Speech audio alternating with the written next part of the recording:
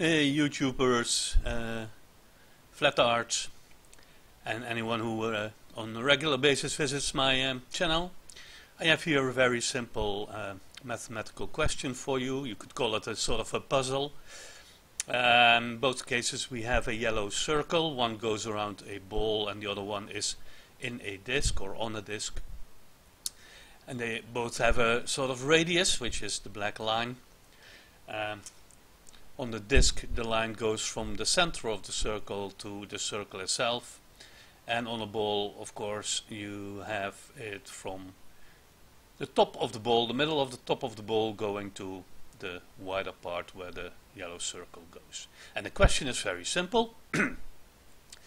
um, if the black line is 1, which of the two shapes has a yellow circle that is 4? Once you understand that, and once you're capable of answering this question, basically every 11 or 12 year old should be able to answer, then you know the shape of the earth we live on. That's all. It's as simple as this.